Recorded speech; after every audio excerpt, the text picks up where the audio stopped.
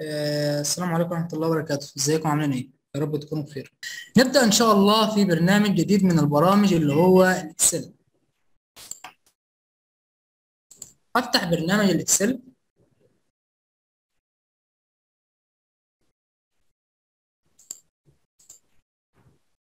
وأروح أقول له blank workbook صفحة عمل جديدة. طيب. عايز أعرف الناس تجاوب معايا عايز أعرف أنا بستخدم برنامج الإكسل في إيه بالظبط.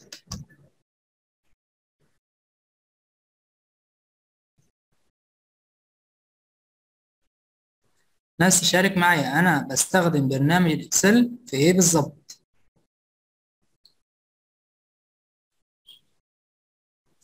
باشمهندس محمد اتفضل يا هندسة.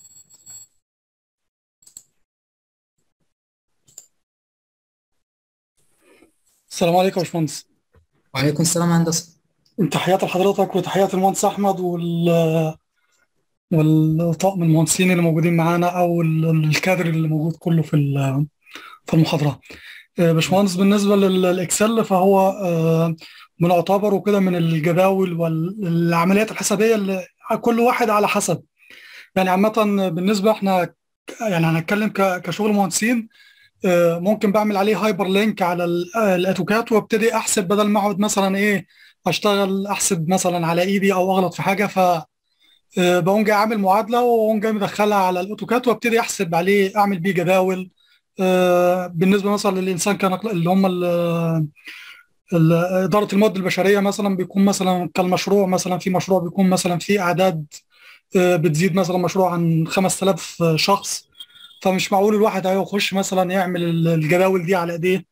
فبقدر الإمكان آه، بنعرف حتى لو مثلا في غلط ولا حاجة مثلا كاتبين اسم آه، اسم أشخاص مكرره فبنقرر مثلا نعمل معادلة من من من بعض المعادلات آه، في مثلا الجمع أو الطرح أو مثلا إذا كان في أسماء متشابهة بتطلع في المعادلة أو بيكون في sheet مقابل sheet إذا في أشخاص متكرره في نفس ال- ال sheet اللي موجود. آه، مثلا بعمل عليه رسم بياني يا باشمهندس. إذا مثلا عايز أعرف آه، أسماء مثلا مجموعات معينة مجموعة المهندسين قد إيه الشغل اللي خلصناه مثلا قد إيه. من خلال البرنامج ال Excel ده فصراحه يعني آه، مريح ناس كتير كانوا مثلا بالنسبة لل كمهندسين أو محاسبين أو أي أو أو شركات نفسها مثلا بتعمل معادلات أو بتعمل برامج. بعض الشركات وبعض الناس كلها بتفضل ال Excel في في الشغل تبعها. يعني بيعمل تحليل بيانات يا باشمهندس كمشروع كامل مثلا. إذا مثلا عندي نسبة معينة مثلا موظفين إزاي بعرف نسبة الموظفين الموجودة؟ بدل مثلا ما بخش مثلا على آه، برنامج ال- الوورد أو أي برنامج تاني أو يعني باختصار الوقت بشكل بشكل مختصر يا باشمهندس. وشكرا لحضرتك. وإن شاء الله ما أكونش يعني. تمام. آه، أشكرك جدا هندسة. يعني آه، يعني أنا ادي لك حقك فعلا. يعني أنت لقد أوفيت في الشرح. فعلا أنت قلت لي كل التفاصيل الخاصة ببرنامج ال Excel أنا بستخدمه في إيه؟ جداول إلكترونية معادلات رسومات بيانية إحصاء. آه كمهندسين ناس بت- بنستخدمهم عموما آه لو عايز أعمل ربط ما بينه وبين ال AutoCAD. آه كإدارة موارد بشرية لو عايز أحسب اللي هو المكافآت الجزاءات.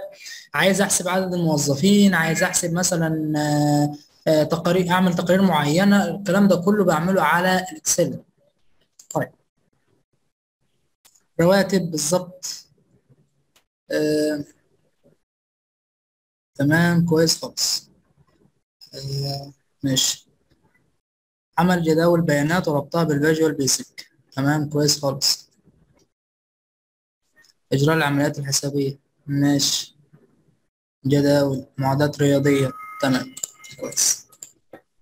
فزي ما قلنا وزي ما انت قلت ال Excel أنا بستخدمه في عمل الجداول الإلكترونية أو المعادلات الرياضية والحسابية. طيب. عندي حاجة اسمها file وحاجة اسمها sheet. إيه الفرق بين الاثنين أنا لما أجي أنشئ sheet Excel من بره. فده اسمه file يعني ملف. ده اسمه file. لكن لما أجي أفتحه من جوه اسمه sheet فال file ممكن يكون جواه أكتر من sheet مش العكس. بالظبط الملف بيبقى فيه أكتر من sheet يعني ملف التشغيل من بره ده بسميه file ده file ده file file file لكن لما تيجي تدخل من جوه فده اسمه sheet ده اللي هو صفحة العمل اللي أنا بشتغل عليها. والملف ممكن يكون فيه أكتر من sheet طيب. قبل ما ابتدي أشتغل في ال Excel في ثلاث حاجات مهمين جدا بعملهم في الأول. إيه هما الثلاث حاجات؟ دلوقتي بقول لنفسي أنا هبتدي أكتب أو أشتغل في ال sheet من اليمين إلى اليسار ولا من اليسار إلى اليمين. أنا هشتغل مثلا right to left الأرقام عندك ناحية اليسار. الأرقام عندك ناحية اليسار. فأنا عايز أحول ال sheet بتاعي إلى ناحية اليمين right to left من اليمين إلى اليسار. هروح على قائمة اسمها page layout page layout وأروح أضغط على عندي جروب اسمه ال sheet option أختار منه حاجة اسمها sheet right to left فخلالك ال sheet من اليمين إلى اليسار. طيب عايز أعكس من اليسار إلى اليمين هدوس عليه مرة تانية أهو. خلهولي left to right من اليسار إلى اليمين. يبقى أول حاجة بعملها إن أنا بحدد اتجاه الكتابة. عايزها من الشمال لليمين ولا من اليمين إلى الشمال. عن طريق قائمة اسمها page layout اللي هو تخطيط الصفحة وأروح أختار حاجة اسمها sheet right to left فبيبدل معاك اتجاه الكتابة تاني حاجة أنا وشغال أظبط الزوم بتاعك. الزوم إن. الزوم ما تقلش عن 200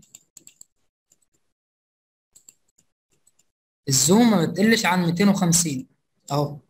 علشان تعرف تشتغل. طيب أنت شايف إن ده مش مناسب ليك أنت؟ لا صغر. هو خبراء الإكسل بينصحوك إن أنت ما تقولوش عن 250 صغر مثلا. 150 آه عايز أخليه 100 بالشكل ده. أنا شايف إن 100 مناسب. أنا شايف 150 بس ما قلش عن 100 شايف إن هو 200 بس خبراء الإكسل بينصحوك إن أنت ما تقلش عن 250 أنا هخليها 150 أنا شايف ال 150 مناسب ليا طيب. حلو خالص. دلوقتي لما أجي أنا اكتب كلمة في ال sheet الكلمة دي جت فين؟ الكلمة دي جت من تحت. معنى كده إن المحاذاة بتاعه الكلمة في ال bottom أو الأسفل. طب أنا عايز أخلي الكلمة في المنتصف أو عايز أخلي ال sheet كله في المنتصف. عندك هنا في قائمة Home في group اسمه ال alignment أو المحاذاة. ادي المحاذاة اللي عندك. لو جيت اخترت في المنتصف خلالك إيه؟ محاذاة في المنتصف. جيت اخترت اللي هو ال top خليها لك في الأعلى ودي ال bottom فدي اسمها المحاذاة ال vertical الرأسية. طيب اللي تحتها؟ المحاذاة الأفقية اللي هي ال horizontal ناحية اليمين ناحية اليسار في المنتصف. فثلاث حاجات بركز فيهم. اتجاه الكتابة ال sheet بتاعي من اليمين إلى اليسار ولا من اليسار إلى اليمين عن طريق قائمة اسمها Page Layout بقول له ال sheet right to left تاني حاجة بظبطها ال zoom. خبراء الإكسل بينصحوا إن أنت ما تقلش عن 250 بس أنا خليتها 150 لأن أنا شايف المناسب ليا 150 هو ليه بينصحك بحاجة زي كده؟ علشان الرؤية بتاعت الخلايا تكون واضحة. ثم بعد كده بظبط المحاذاة بتاعتي. طيب. حلو خالص. طيب أنا هروح في كل خلية وأروح أظبط المحاذاة؟ لا. أنا مش هروح في كل خلية وأعمل محاذاة. أنا هعمل لل sheet كله مرة واحدة. عن طريق zoom هندسة طبعا.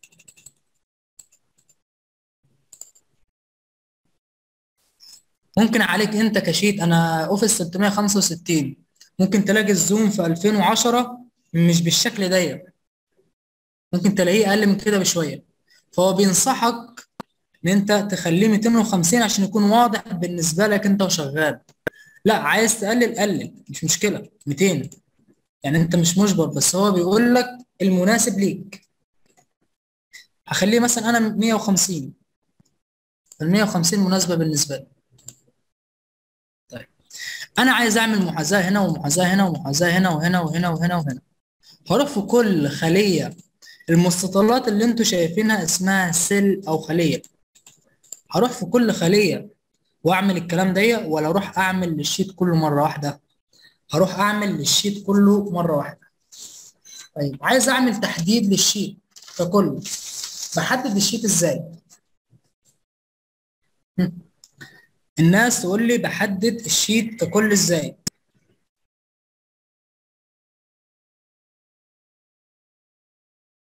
عندك ثلاث طرق بحدد بيهم الشيت ككل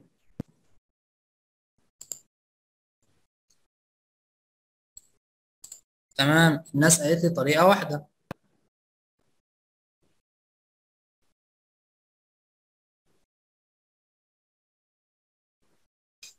تمام؟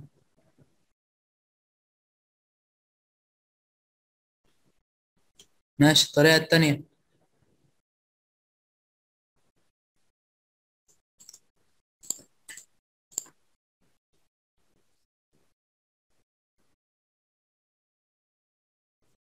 طيب مين يقول لي الطريقة التالتة وياخد بونص آه خمس درجات على الدرجات بتاعته؟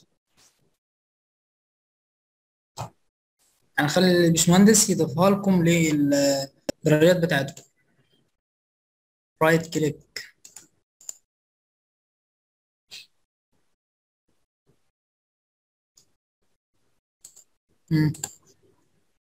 بالماوس واسحب لأسفل لكل ال sheet طيب. زي ما قلت الطريقة الأولى control مع A؟ control مع A؟ بيحدد ال sheet ككل بالشكل ده. وأروح أعمل من فوق توسيط المحاذاة بتاعتي.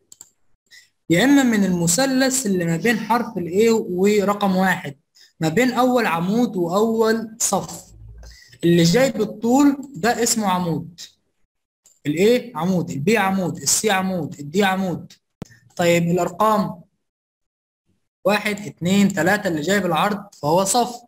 فالمثلث اللي ما بين أول عمود وأول صف كده الطريقة التانية. الطريقة التالتة control مع shift مع space space اللي هي المسطرة. control مع shift مع space الناس تجرب control مع shift مع space space اللي هي المسطرة. طيب. أنا دلوقتي الطريقة الأولى control مع A؟ control مع A؟ بأول اختصارة. control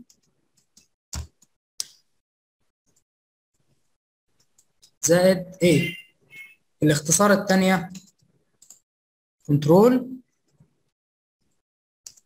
زائد shift زائد سبيس اللي هو المسطرة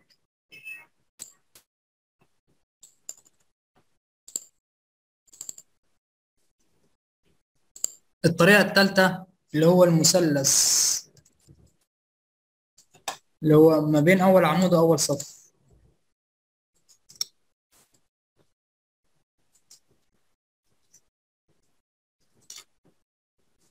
اللي هو ما بين أول عمود وأول صف دول كده تلات طرق. control A؟ control shift space والمثلث اللي هو ما بين أول عمود وأول صف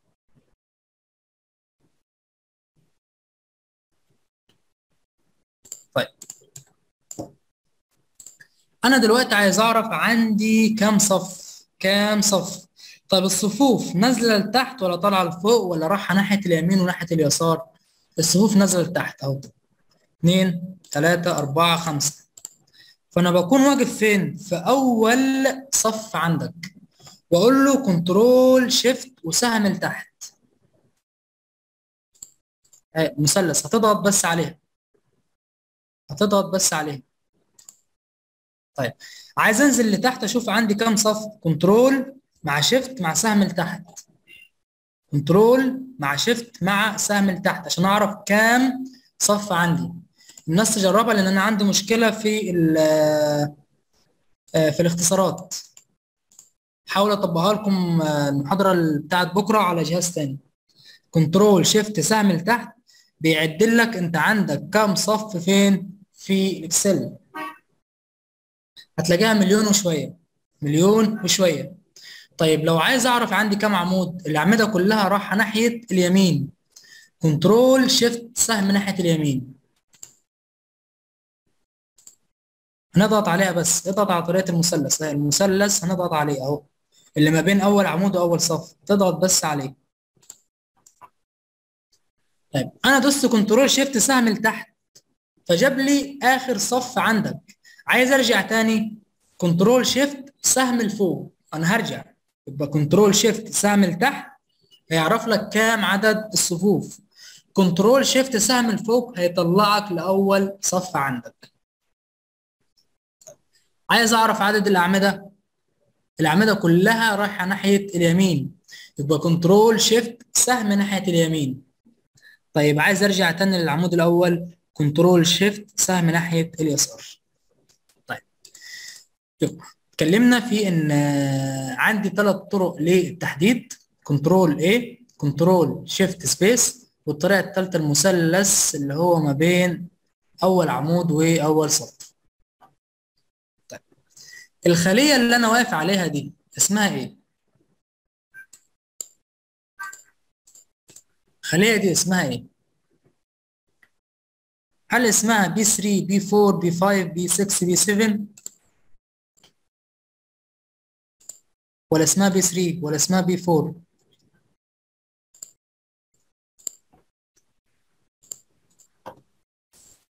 طيب أنا باخد أول عمود العمود اللي هي موجودة فيه الخلية.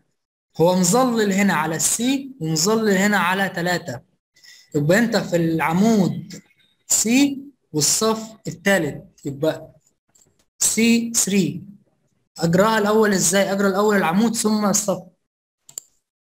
أقرا العمود الأول ثم الصف أدي C 3 أدي العمود وأدي الصف طيب دي E 5 طيب ده بقى هنا عشان عامل دمج فراح عمل إيه؟ دمج لك أرقام مع بعض. بس هي بتتقري إزاي؟ B 3 أول عمود العمود اللي واقفه فيه وهتختار أول صف فدي اسمها B 3 دي اسمها B 3 طيب. تطلع فوق خالص فوق الأعمدة هتلاقي فيه خلية صغيرة أو فيه زي مستطيل صغير. المستطيل ده اسمه ال Name Box اللي هو إيه؟ صندوق الاسم اسم الخلية اللي أنت واقف فيه. هتلاقيه من فوق فوق المثلث. ده اسم الخلية اللي أنت واقف فيه. طيب ال FX اللي جنبها؟ أنا واقف مثلا كمثال على الخلية دي. فال FX بيظهر ليك الحاجات الموجودة داخل الخلية. يا إما لو عندي معادلة.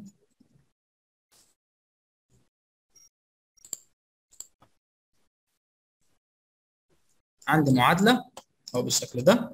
ال Enter. أول ما اكون واقف على الخلية فمديك المرجع من فوق. أدي المعادلة بتاعتك. وعملت إيه فيها بالظبط؟ طيب لو دوست علامه ال X كده أنا كنسلت الحفظ اللي أنا هعمله. طيب لو هزود مثلا اشيل دي وأروح أقول له كده. أنا هعمل جمع لده.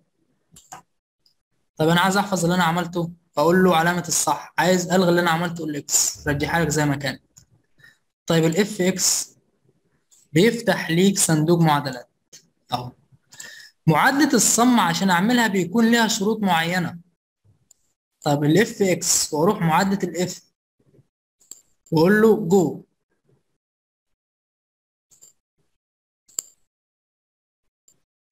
يعني دي معادلة ال IF وأقول له Go يعني روح لي على معادلة ال IF فهنا بيقول لك إيه؟ ليه هنا مش مديك حاجة؟ عشان خاطر انت. هتعمل معادله ال IF ده هتعملها على إيه بالظبط؟ هل في أرقام؟ هل في مثلا شروط معينة؟ انت مش كاتب الشروط دي.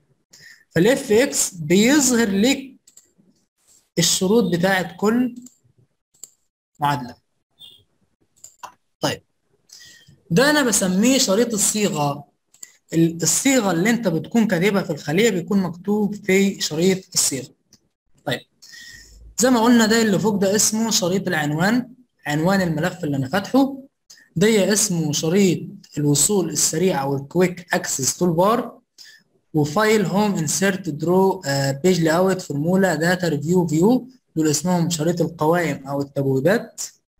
كل قائمة فيهم نازلة منها مجموعة أدوات فده اسمه شريط الأدوات. الأدوات اللي بتعمل نفس الحاجة داخل group واحد يعني مثلا دي خاصة بال Font الخطوط فده group ال Font ده group ال Alignment وهكذا. طيب. اللي تحت ده اسمه شريط الحالة. هنا ده ال Zoom بتاعي. والتلاتة اللي جنب بعض طريقة العرض طريقة العرض بتاع ال sheet sheet ال Excel طريقة العرض بتاعته. طيب. عندك هنا كاتب لي من تحت كلمة اسمها Sheet 1 طيب ده اسم ال sheet وليس اسم الملف اللي فوق اسم الملف. أما اللي من تحت ده اسم ال sheet. عايز أغير اسم ال sheet أغيره إزاي؟ هضغط على الاسم ده ضغطتين click شمال. هضغط على الاسم ضغطتين كليك شمال. وأكتب الاسم اللي أنا عايزه. بس. طب في طريقة تانية؟ آه. هتضغط click يمين على الاسم وأروح أقول له rename أو اعادة تسمية.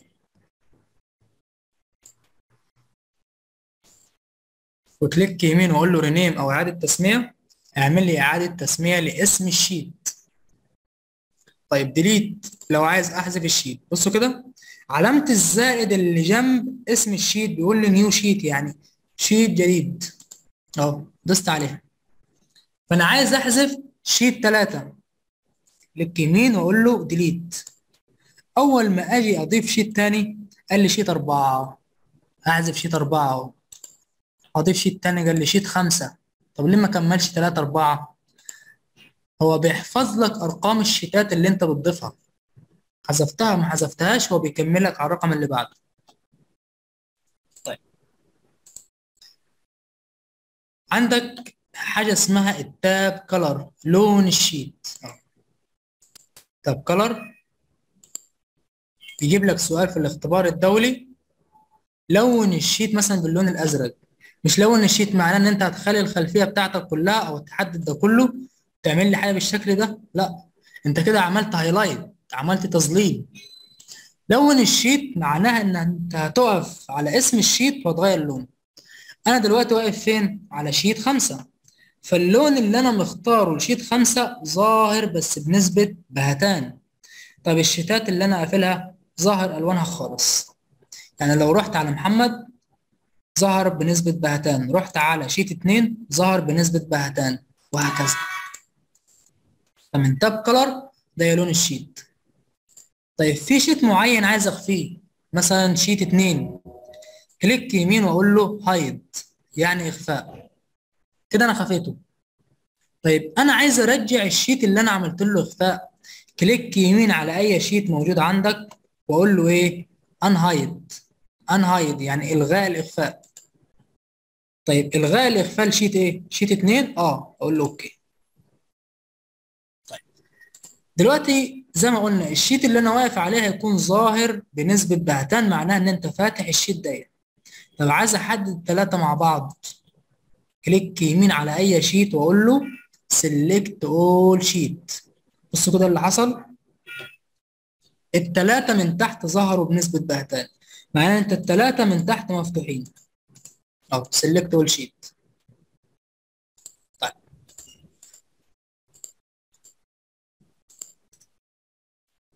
عندك حاجة اسمها ال ungroup معنى إن أنت عملت لهم select بحطيت الثلاثة في group واحد. طب هقول له ungroup خلى كل واحد لوحده.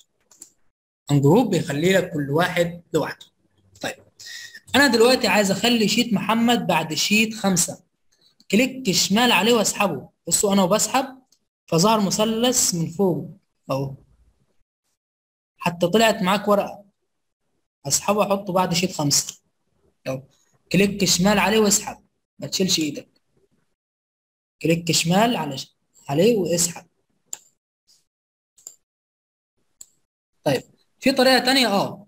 click يمين عليه وأروح أقول له حاجة اسمها ال move or copy يعني هعمل له نسخ أو نقل. طيب بيقول لك أنت عايز تعمل له نقل before sheet قبل sheet إيه؟ أنا عايز أعمل له نقل قبل sheet خمسة. فبروح أحدد sheet خمسة وأقول له okay. فخليه لي قبل sheet خمسة. click يمين move or copy طب لو عايز أخليه في الآخر move to end يعني خليه لي في النهاية. خليه لك في النهاية. طيب.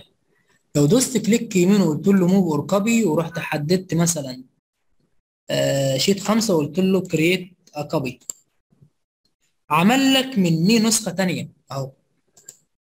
أقول له delete يبقى ال move or copy لو علمت علامة صح على كلمة اسمها create copy بيعمل لك نسخة مني تانية. طيب أنا هعمل له انتقال لأي sheet أو أو لأي ملف؟ ده لو عندك أكتر من ملف. أنا عايز أعمل له انتقال لملف جديد أو new book هدوس على new book طب ال new book ده هل أنت عندك أصلا حاجة في الكتاب الجديد أو في الملف الجديد؟ ما عنديش ملف جديد أصلا. يبقى دي كلها إعدادات ال sheet نفسه. طيب أنا دلوقتي جيت كتبت هنا مثلا رقم. كتبت هنا رقم. كتبت هنا رقم. كتبت هنا رقم. طيب أنا دلوقتي رحت عملت إيه الدرجات اللي عندك؟ نفترض إن هي درجات. فرحت أنت نسيت ال lap بتاعك مفتوح وسبته مفتوح وطلعت تجيب حاجة من بره. رجعت لقيت حد معدل على ال sheet. طب أنت عايز تمنع التعديل ده تمنع التعديل على ال sheet. يعني أي حد يجي يكتب أي حاجة مش هيقدر إن هو يكتب. فبعمل إيه؟ بعمل حاجة اسمها protect sheet كليك يمين على اسم ال sheet وأقول له protect sheet أو حماية ال sheet. أجي بقى هنا أكتب ال password بتاعي. واقول له okay. اعمل تأكيد لل password. ده بيعمل لك password لل sheet من جوه ملوش دعوة بالملف من بره. الملف من بره من طريقة تانية كنا بنعملها من file و info. واقول له protect workbook واقول له حاجة اسمها encrypt with password وأكتب ال password بتاعي. أنا عايز أعمل أنا عملت password لل sheet من جوه. تعالوا كده نجرب نكتب أي حاجة. ظهر لك رسالة. بيقول لي the cell or chart you are trying to change is on a protected sheet. يعني ان ال sheet بتاعك اللي أنت بتحاول أنت تغيره هو sheet محمي؟ علشان تعمل to make a change عشان تعمل تغيرات unprotect the sheet. اعمل أو شيل الحماية من ال sheet. You might be requested to enter password يعني انت محتاج طلب أو ربما تحتاج طلب عشان خاطر تدخل ال password تاني click يمين واقول له المره دي unprotect. unprotect يعني هشيل ال password كده اكتب هيكتب معايا. عشان اعمل حماية لل sheet ومحدش يعدل عليه أقول له protect sheet ممكن ابعت ال sheet لحد. الحد ده يعدل عليه. علشان احمي نفسي اعمل إيه؟ ممكن اعمل protect sheet وريني بقى إزاي هتكسر كلمة السر. طب في طريقة بيعملوها علشان يكسروا كلمة السر؟ آه. في برنامج بننزله بنكسر بيه كلمة السر. بس مش أي حد يعرفه. دي الناس اللي فاهمة بس. الناس اللي هي أصلا داخلة في المجال مجال الحمايه برنامج سهل ما فيهوش أي مشكلة. بس لو هتبعته عادي مثلا أنت مدرب أو أنت أصلا هتبعته في الشغل ومش عايز حد يعدل عليه فبتعمل له بروتكت دي إن شاء الله هناخدها إن شاء الله هندسة في وقت تاني. المحاضره الجايه واللي بعدها؟ ان ليها طريقة هتاخد وقت معايا. عشان أعمل حماية ليه click يمين على اسم ال sheet وأقول له حاجة اسمها protect sheet هتعمل لي حماية لل sheet. وأروح أكتب ال password بتاعي. أعمل تأكيد لل password أقول له okay. أجي أجرب أكتب أي حاجة مش هيكتب معايا. طب عشان أفكه أنا كشخص أنا اللي عملت ال password أنا اللي هفكه. click يمين على ال sheet وأقول له unprotect بيقول لك دخل ال password بتاعك. هتيجي تكتب أي حاجة هيكتب معاك عادي.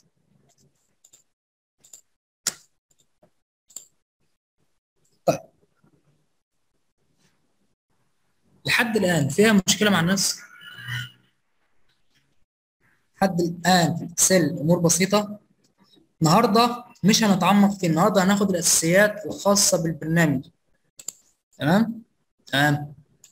طيب فيها مشكلة مع الناس؟ آه موضوع كسر الحماية أنا هبعت لكم البرنامج أو إن شاء الله هنشرحه في محاضرة بكرة. حد عنده سؤال لحد دلوقتي؟ لحظة كده الناس تخليها معايا. هعمل حاجة بس سريعا من جهاز الكمبيوتر. طيب آه في حاجة اسمها data type نوع البيانات. نوع البيانات. طيب إيه نوع البيانات اللي أنت بتكتبها في sheet ال Excel؟ إيه نوع البيانات اللي أنت بتكتبه في sheet ال Excel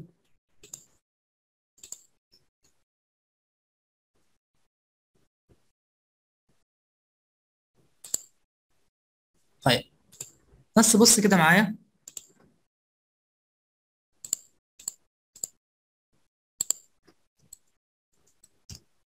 هعمل مشاركة للشيت بس.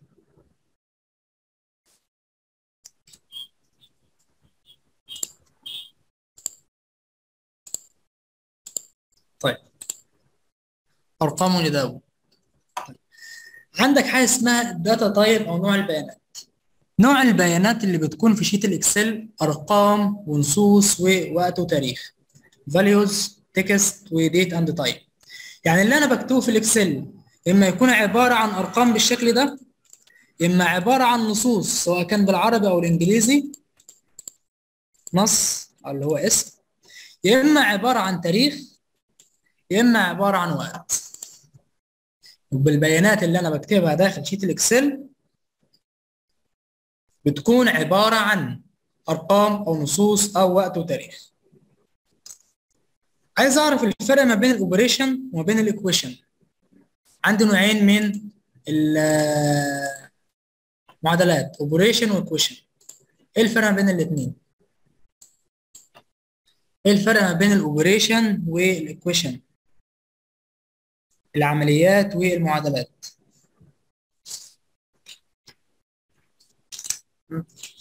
إيه الفرق ما بين الاثنين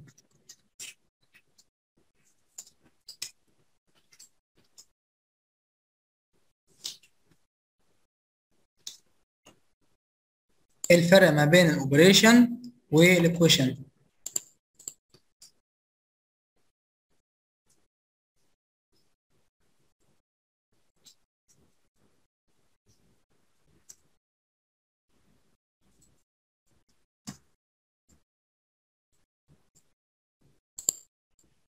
العملية خطوات كتيرة.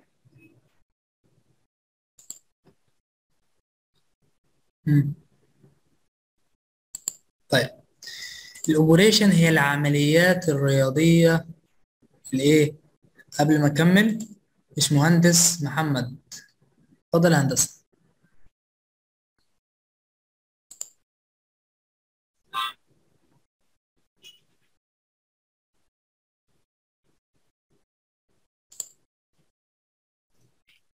باشمهندس آه، زي ما حضرتك عودتنا هندسة ال- بالنسبة للمعادلات فدي فرمله موجودة بال Excel يا باشمهندس. آه، إذا كان كلامي مش غلط. يعني إنك بتعمل فورمولا وبتجمع أوتوماتيك مهما تحط لها آه، يعني مهما تضيف القيمة أو تضيف أي حاجة فهي أوتوماتيك بت بتجمع القيمة معاك. ده بالنسبة لل- للمعادلات. يعني هي موجودة أصلا بالبرنامج ال Excel ومهما أنت بتضيفها فهي بتاخد منك أوتوماتيك. أو أنت شلت منها بتشيل أوتوماتيك. بالنسبة لل- لل- لل normal إن الواحد مثلا ممكن يجيب ال- ال Excel ال- آه، عفوا ال- الماوس وبيشده مثلا على تحت كده وبيديله ال total بدون ما ي- ما يعمل مثلا أي حاجة. يعني ده تعتبر operation يا باشمهندس أو هندسة إن شاء الله ما يكونش الجواب غلط تمام هندسة أشكرك. هي إجابة صحيحة فعلا. آه، بس في نقطة صغيرة هنتكلم فيها برضه دلوقتي. يا. ال operation ال operation هي بتكون العمليات البسيطة اللي هو الجمع الطرح القسمة الضرب. آه، أما ال equation اللي هي المعادلات المعقدة زي ال sum ال average. يعني لو جينا اتكلمنا مثلا على حاجة بالشكل ده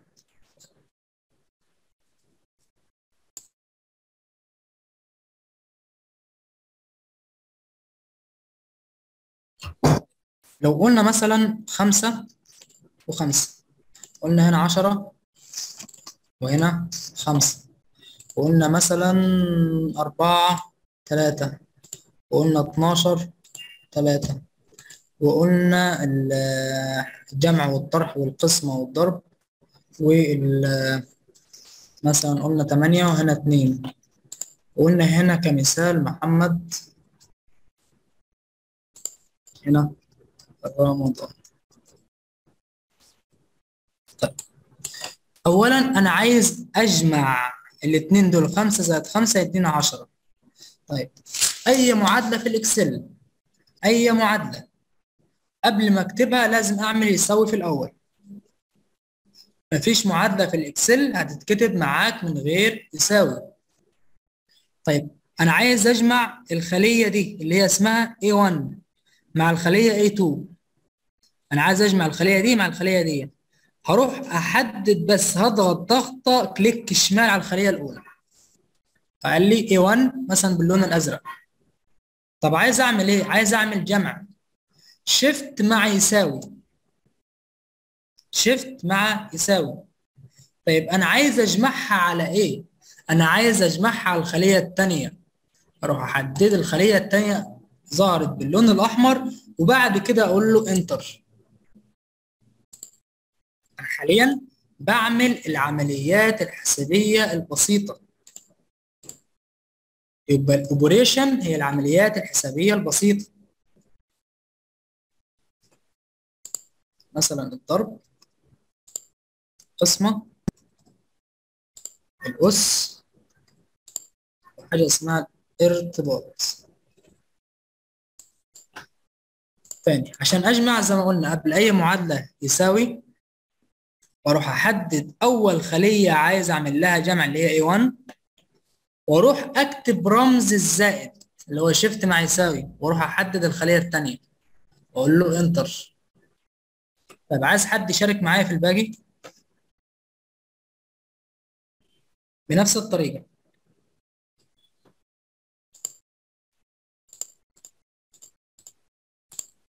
مم. باشمهندس محمد منصور. اتفضل يا هندسة.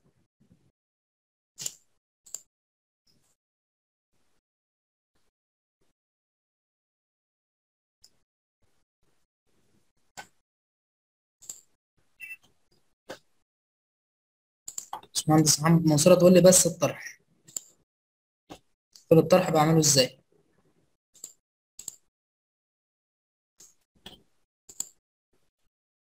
اتفضل يا هندسة.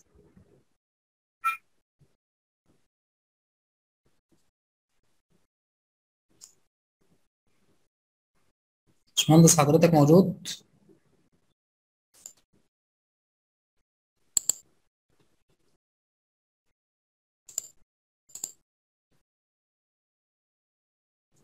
طيب آه، باشمهندس أحمد اتفضل.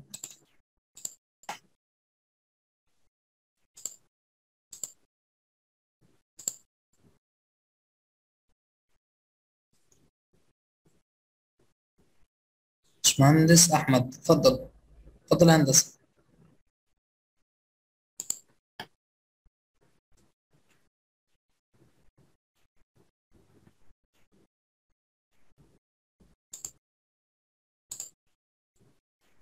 فين الناس؟ باشمهندس محمد. محمد الشرقاوي. اتفضل يا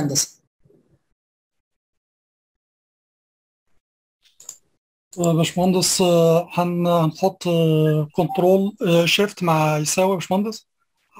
أو مثلا نيجي من على كلمة ال- الفرمله من فوق آه، ونديها آه، okay وبعدين بناخد ال- اللي هي يعني مثلا اللي هو عندنا 10 طرح اللي هي مثلا B واحد طرح B اتنين هيدينا okay يا باشمهندس وتعطيه هيديك الطرح يا باشمهندس. طيب إحنا الجمع عملناه إزاي؟ عملنا في الأول يساوي. تمام. نفس هنا يساوي. ونجيب B واحد يا باشمهندس اللي هي أول أول خلية تمام طرح مثلا shift مع أو نكتب مثلا ش- اللي هي shift الطرح مع اللي لا من غير shift الطرح اللي هو علامة الطرح اللي هو جنب الزائد من غير shift باشمهندس في عندي آه، مثلا إذا أنا حطيت shift وحطيت نقطتين وقفلت فيه قوس يا باشمهندس بيديني برضه نفس المعادلة دي مش عارف آه، إزاي يمكن مثلا عشان اللغة في يعني مثلا باشمهندس اذا أنا فتحت قوس مثلا ساعة ما أقول له يساوي وحطيت مثلا اللي هي بي- واحد واديتها شيفت مع نقطتين وحطيت ال- الخمسة وقمت جاي قافل ال- ال- القوس بالمعادلة بيديني برضه طرح يا باشمهندس. تمام. آه تمام. بعد كده عملت إيه؟ عدت الخمسة؟ خمسه واقفل القوس يا باشمهندس.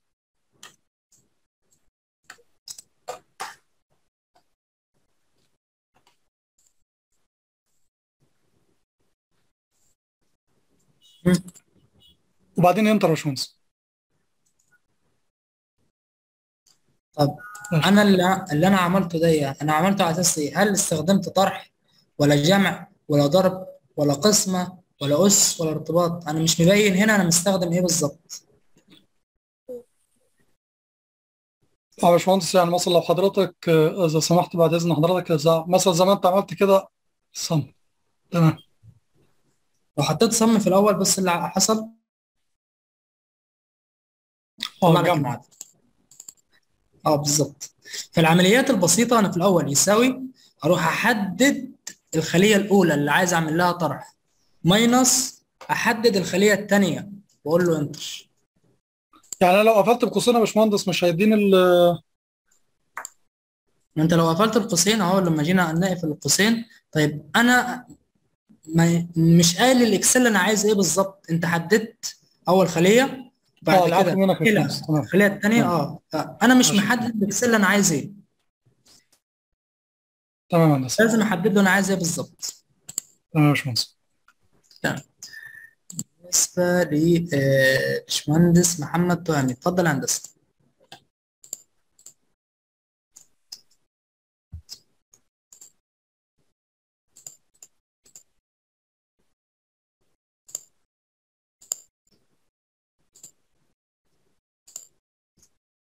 اتفضل يا هندسة.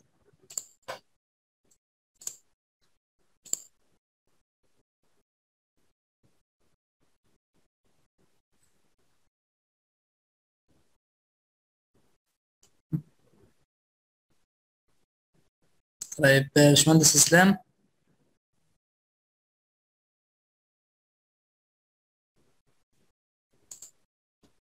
باشمهندس السلام عليكم باشمهندس. وعليكم السلام يا هندسة. آه، ال- الضرب يا باشمهندس بناخد. بيقول نكتب بيساوي واخد C 1 واكتب علامة في آه، وبعدين علامة دي بعملها إزاي؟ اللي هي علامة ال... اللي هي shift وأدوس على رقم 8 بالظبط shift مع 8 وبعدين في C C C 2 تمام. enter يطلع النتيجة معايا. تمام. القسمة نفس الشيء. تمام يا هندسة. أشكرك يا هندسة. ربنا يبارك فيك يا باشمهندس. باشمهندس إسلام. اتفضل يا هندسة.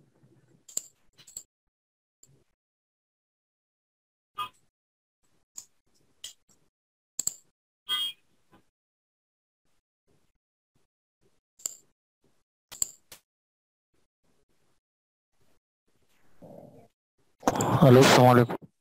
وعليكم السلام يا هندسة. آه، إزيك يا باشمهندس؟ الحمد لله تمام. هو إحنا نعمل يساوي في القسمة؟ مم. ونختار دي واحد وبعد كده آه علامة القسمة على. بس أنا مش عارف بالظبط معيش الكيبورد دلوقتي.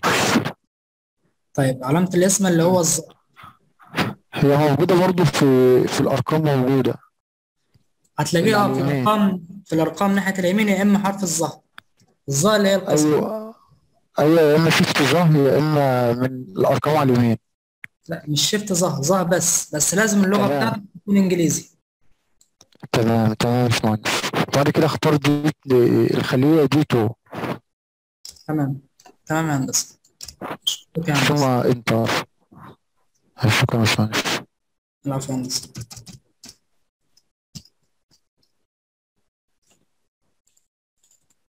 بس أنا إيه. عندي مشكلة بس في الظاهر مش راضي تعمل معايا ولا الأرقام فالناس جربها 12 يساوي حدد اول خليه ورمز القسمه اللي هو يا إما حرف الظهر بس لازم اللغة تكون إنجليزي. يا إما من الأرقام اللي ناحية اليسار هتلاقي علامة القسمه وتحدد الخلية الثانية طيب الأس بعمله إزاي؟ يعني إيه أس أصلا؟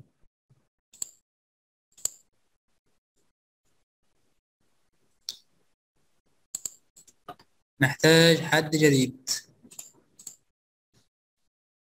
طيب.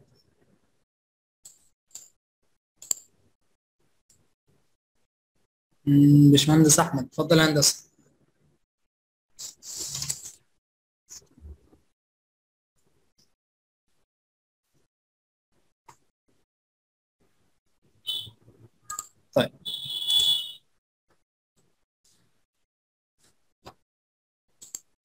لما أقول أس يعني 8 أس 2 يعني إيه 8 أس 2 يعني 8 مضروبة في نفسها مرتين. 8 أس 2 معناها إن ال 8 مضروبة في نفسها مرتين. يساوي واحدد الخلية الأولى. الأس شيفت مع 6 شيفت مع 6 وأروح أحدد الخلية الثانية وأقول له انتر قال لك 64 64 طيب ارتباط يعني إيه ارتباط؟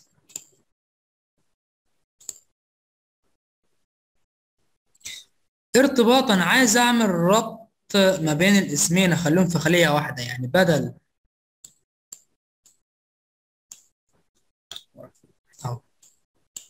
يعني بدل ما هنا محمد في خلية ورمضان في خلية أخلي الاتنين في خلية واحدة. فبعمل ارتباط إزاي؟ باشمهندس كمال. اتفضل يا هندسة.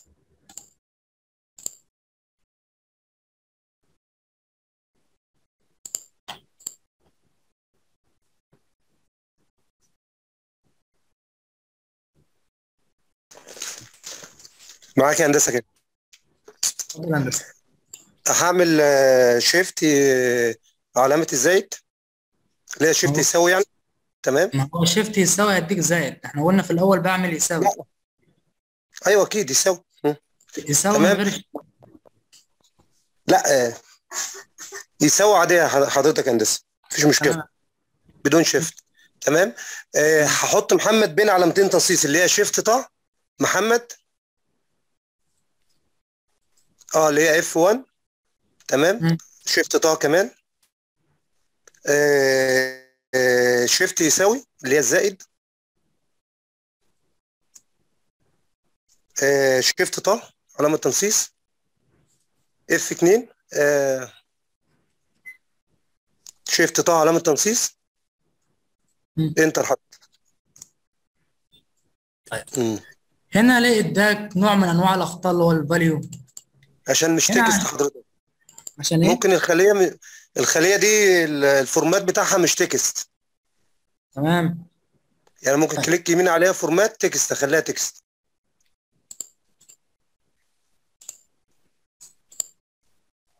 نفس المشكلة. طيب. نفس المشكلة. طيب. الحل بتاعها إيه؟ أنا دلوقتي أنا عايز أعمل ارتباط يعني عايز أخلي الاثنين في خلية واحدة. فين رمز الارتباط اللي هو شيفت مع سبعة. شيفت مع سبعة. طب إحنا هنجرب بس شلنا الزائد وحطينا اللي هو علامة الارتباط شيفت مع سبعة. برضه مش طالع كأنه معادلة. طيب عشان أعمل ارتباط أعمله إزاي؟ بس كده. أول حاجة يساوي. إحنا قلنا هحدد خلايا المرة دي هحدد أول خلية اللي هي محمد. وأروح أعمل علامة الارتباط اللي هي shift مع سبعة.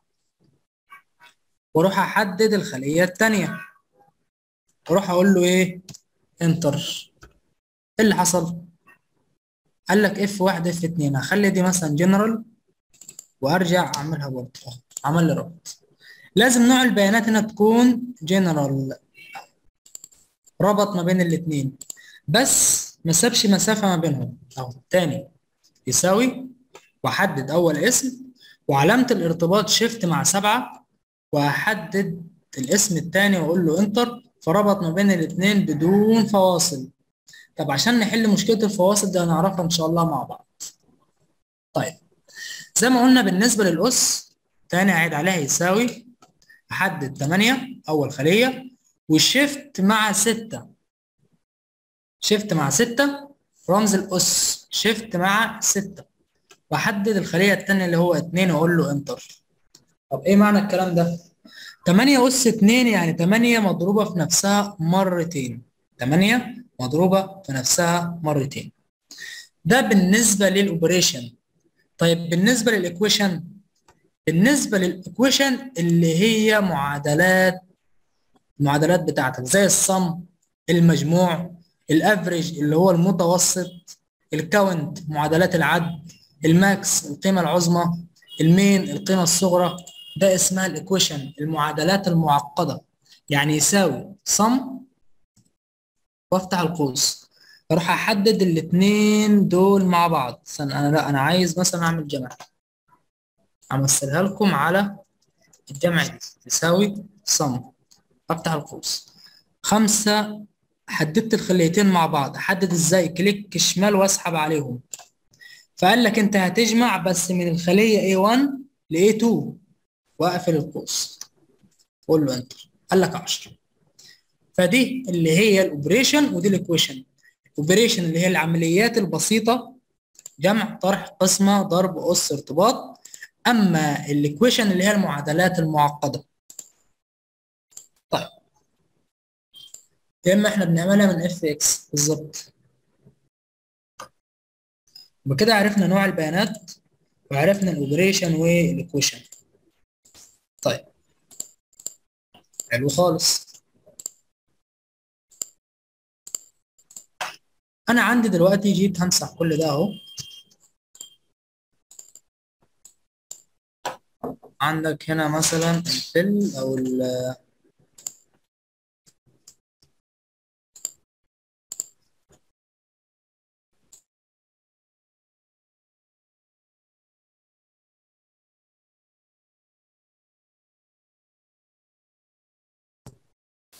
عندك مثلا واحد اثنين ثلاثة أو واحد اثنين بس. عندك مثلا اثنين أربعة وهكذا. عندك ثلاثة عندك أو أربعة ستة. آه لا خليها ثلاثة ستة. ثلاثة وهنا ستة. طيب. عندك حاجة اسمها fill flash وحاجة اسمها flash fill ال fill flash وال flash fill طيب. ال fill flash بيعمل لك عملية تماثل تلقائي للعملية. يعني. دلوقتي جيت أنا مثلا كمثال جيت هنا عملت يساوي sum وأفتح القوس. أنا هعمل جمع للرقمين دول. أهو. حددت الرقمين وقلت له enter طيب هروح أعمل المعادلة دي ال sum في كل واحدة؟ لا. بعمل لها حاجة اسمها فل فلاش تماثل تلقائي شايفين علامة المربع اللي باللون الأخضر أول ما تكون واقف عليه هتلاقي فيه علامة زائد ظهرت. كليك شمال عليها واسحب على الخلايا الباقية. فراح طبق المعادلة. فهو بيعمل لك عملية تماثل تلقائي لأصل العملية. بمعنى أنا هنا عملت عملية معينة فأنا عايز أعمل تماثل هعمل نفس العملية على باقي الخلايا. من هتقف في الخلية من المربع الأخضر اللي هتلاقيه يا إما ناحية اليمين أو اليسار كليك شمال واسحب عليه. طبق اللي أنت عملته هنا على الخلايا الخلايا الخلايا الثانية طبق اللي أنت عملته هنا على الخلايا الثانية طيب.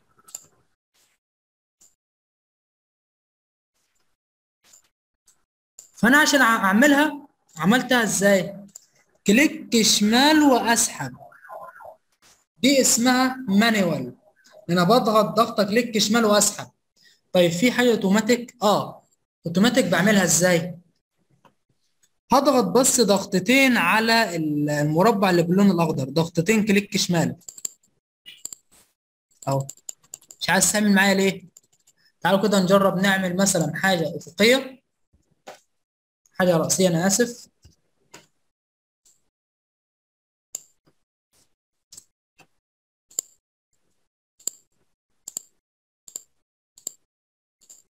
هضغط ضغطتين كليك شمال. فعمل معايا الرأس.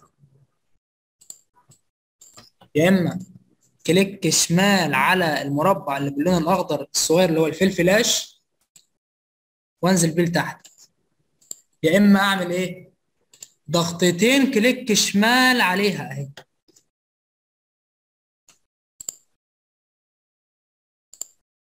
لا format painter هندسة مش آه، معادلات. format painter ده نسخ تنسيق يعني لو عندك تنسيق معين عملته عايز تعمل له نسخ لكن دي معادلات. تمام؟ فعندك ده اسمه ال fill flash فبيكون يا إما manual يا إما اوتوماتيك يا إما يدوي. يدوي إزاي؟ إن أنا بس click شمال وأسحب. طيب اوتوماتيك اضغط بس ضغطتين click شمال عليه. عملية تماثل تماثل تلقائي عملية تماثل يعني إيه تماثل؟ يعني اللي أنا عملته في الخلية اللي فوق هطبقه على باقي الخلايا بنفس المعادلة.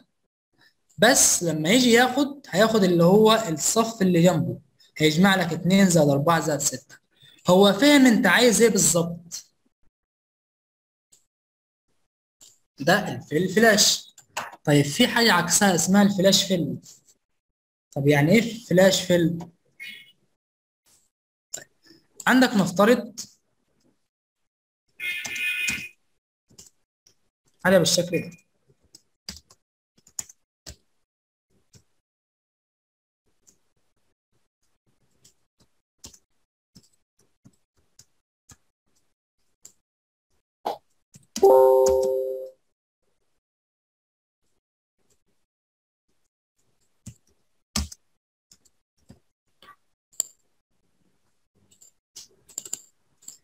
جيت هنا رحت كتبت محمد. وكتبت هنا رمضان. هاجي هنا أكتب أحمد. وأجي هنا أكتب علي. هاجي هنا أكتب منى. هكتب محمود. هكتب إبراهيم. هكتب حسن. أنا أروح أعمل الكلام ده كله؟ لا. أنت بتعمل حاجة اسمها الفصل عملية الفصل الفصل المعياري. من data وعندك حاجة اسمها text to column text to column طيب عشان أعمل عملية الفصل دي بس قبل ما ناخد الفصل أنا عايز أعرف يعني إيه أصلا fill flash؟ يعني إيه fill flash ويعني إيه flash fill قلنا ال fill flash اللي هي عملية تماثل تلقائي الأصل العملية اللي إحنا عملناها على ارقام من شوية. بيعمل لك نفس العملية هي هي. ده ال fill flash. طيب ال flash fill flash fill اللي هو التعبئة؟ تعبئه تلقائية. يعني إيه تعبئة تلقائية؟ أنا دلوقتي عندي كل اسم في خلية.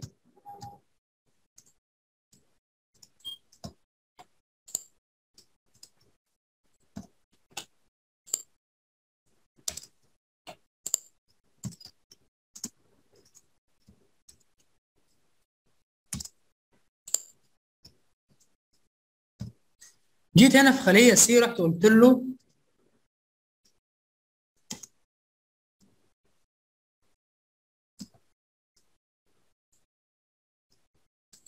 كتبت الاسم.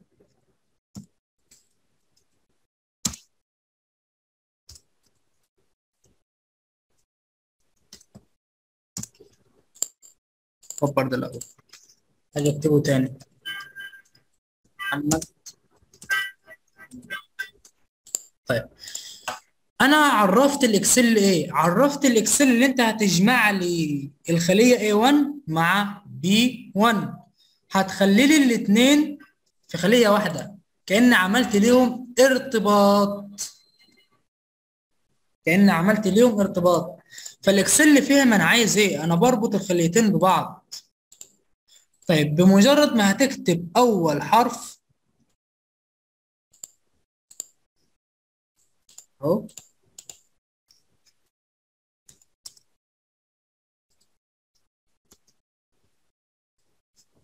بس عشان مسحنا عشان كده ما عملتش معانا. فلازم إيه ما اشتغلش أي تنسيقات عليها بعد كده. محمد رمضان. ومجرد ما هكتب أول حرف في الاسم الثاني هو عرف تلقائي أنا عايز أعمل إيه أهو. وأروح أقول له enter يبقى fill بيعمل لك تعبئة تلقائية. تاني. أنا هقول له إن أنا هعمل ارتباط ما بين الاثنين محمد رمضان. فهو عارف أنا عايز إيه؟ أنا كده عملت ارتباط ما بين ال A 1 و B 1 بمجرد ما هكتب أول حرف في الاسم اللي بعد كده فراح عارف إن هو تلقائي أنا عايز أروح أقول له enter فراح عمل لك تعبئة تلقائية.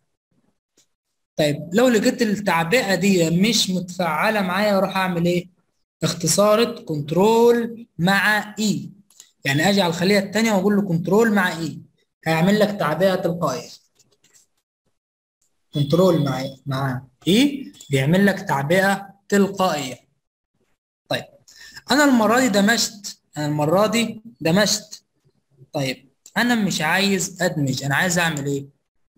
أنا عايز أعكس. اللي أنا دمجتهم ده أنا عايز أفصلهم. أفصلهم إزاي؟ أحدد العمود اللي عايز أفصل منه الأول وبروح على تابة اسمها data وأختار حاجة اسمها text to column يعني النصوص اللي عندك هتحولها لي إلى أعمدة. طيب أنا عايز أعمل إيه؟ حاجة اسمها delimited وحاجة اسمها ال fixed width delimited إن أنا هعمل فصل معياري يعني هفصلهم إلى عمودين. طيب fixed width هيثبت لك عرض العمود. أنا عايز أعمل فصل معياري وأروح أقول له next طيب لما أجي أفصل زي ما فصل تحت لازم تعمل لي space ما بينهم مسافات. أروح أعلم على كلمة space وأقول له next هتيجي على حاجة اسمها destination أنا هفصل فين؟ أنا هفصل فين؟ أروح أحدد أول عمود هفصل فيه. وأقول له finish إيه اللي حصل؟ فصل الأسماء عن بعضها البعض. تاني بحدد العمود اللي هفصل منه.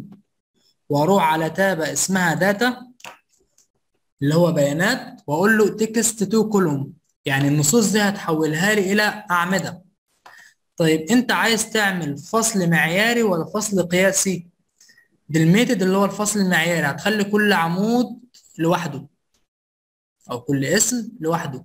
طيب ال fixed width هيثبت لك عرض العمود. أنا عايز أعمل فصل معياري أقول له next فعلشان أعمل فصل لازم أعمل مسافات ما بينهم. فأعلم علامه صح على space واقول له next طيب ال destination أنا عايز أفصل فين بالظبط؟ بتروح تحدد أول عمود عايز تفصل فيه. وأقول له finish فكده فصل. ده اللي هو ال flash fill. أهو. اللي إحنا عملناه هنا ده flash fill. مجرد ما كتبت أول اسم هو عرف أنا عايز إيه. أول ما تكتب أول حرف في الاسم الثاني هيعمل لك زي تعبئة تلقائية بالشكل ده واقول له enter. لكن لو عايز أعكس أفصل عن طريق حاجة اسمها text column من قائمة data ال fill flash ادي الفرق ما بين ال fill flash وال flash fill آه فيهم أي مشكلة؟ فيهم أي مشكلة بالنسبة للناس؟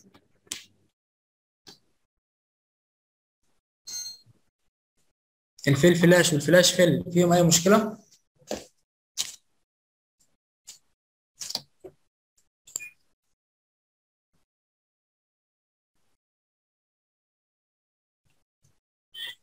قلنا هندسة الفيل فلاش آه اللي هو عملية تماثل تلقائي اللي إحنا عملناها على الأرقام.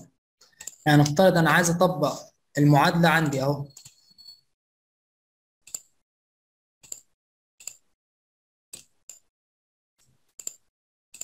رحت قلت له مثلا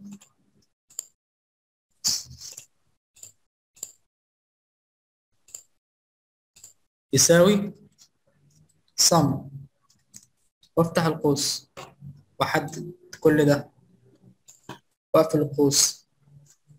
فأنا نفس العملية اللي عملتها فوق عايز أعملها على الباقي. فأنا هعمل تماثل لأصل العملية اللي أنا عملتها. فده ده اللي هو ال fill flash أما ال flash fill إن أنا بعمل عملية فصل أو تعبئة تلقائية اللي إحنا عملناها في الأسماء م.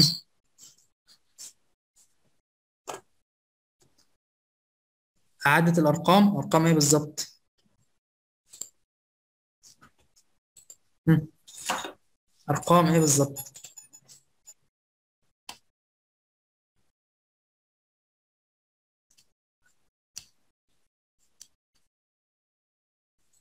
قصدك على إيه الأرقام بالظبط؟ يعني ممكن تحدد إن كل شغلنا على ال Excel أرقام، أنا عايز أعرف إيه الجزئية اللي أنت محتاجها. ال fill flash أهو اللي أنا عملته دلوقتي أهو. أنا قلت يساوي. كتبت اسم المعادلة. ورحت حددت. فبعمل حاجة اسمها fill flash عملية تماثل تلقائي الأصل العملية. يعني العملية اللي أنا عملتها فوق لسه هنزل تحت وأكتب يساوي sum وأعمل نفس المعادلة لا. أنا اللي أنا عملته فوق هطبقه تحت. يا إما عن طريق ال manual أو ال automatic manual في ال flash click شمال على المربع الأخضر وأسحب لتحت. يا إما لو عايزها أوتوماتيك هضغط عليها ضغطتين click شمال. هتلاقيها اتطبقت معايا تلقائي. ده ال fill أما ال flash fill اللي هو عملية آه، تماثل تلقائي اللي هو إحنا قلنا في الفلاش. أما ال flash fill إن أنا عايز أعمل إيه؟ أنا لو عندي اسمين وعايز أفصل مثلا اسمين أو عايز الاسمين المنفصلين أجمعهم أعمل لهم عملية ارتباط. اسم؟ زي ده. وجنبه اسم تاني.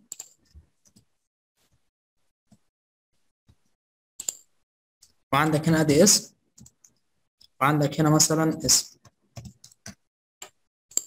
فدول كده أسماء منفصلة عن بعض. أنا عايز أعمل إيه؟ أنا عايز أدمج الاسمين. كنا أخدنا حاجة اسمها الارتباط. أدمجهم إزاي؟ أنا بمجرد ما هكتب أول اسم اللي هو محمد رمضان. اهو كتبت محمد رمضان. أنا كده عرفت الإكسل. أنا عايز إيه؟ أنا عرفت الإكسل أنا دمجت الخلية اللي هي اللي فيها محمد والخلية اللي فيها رمضان. بمجرد ما هتكتب أول حرف في الخلية الثانية بس مش عايز تعمل معايا هنا لأن أنا ما بدأتهاش من الأول. أمسح دول. يفضل ان أنا أبدأ في الأول خالص فوق أهي. تمام. أجي في الخلية دي أكتب محمد رمضان.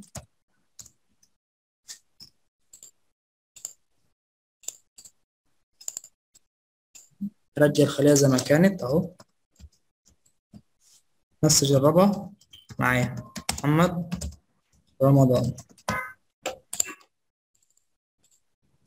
امسحها واكتبها تاني عشان خاطر طالما أنا غيرت في اعدادات العمود لازم أعمل حاجة جديدة. طيب. أنا عايز الناس تجرب تعملها تاني دلوقتي عشان خاطر أنا ابتديت أمسح واكتب أمسح واكتب أمسح واكتب. فلو جيت عملنا شيت جديد أو بالشكل ده عشان برضه ما اطولش على الناس سريعا. جيت هنا كتبت أول اسم محمد. جنبه مثلا رمضان. وجيت كتبت هنا اسم تاني. وجيت كتبت هنا اسم.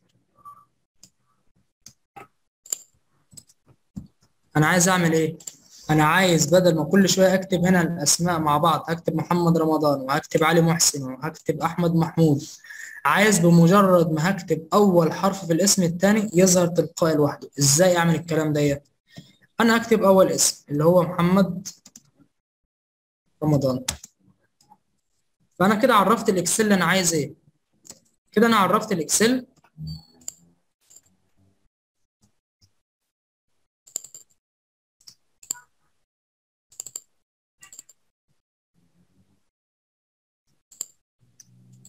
إن أنت هتدمج اللي هو الخلية اللي A1 و B1 يعني هتدمج الاسم الأول مع الاسم الثاني طيب اكتب أدي اسم محمد رمضان.